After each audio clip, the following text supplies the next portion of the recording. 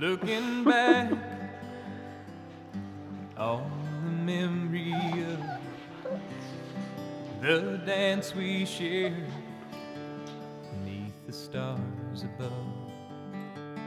For a moment,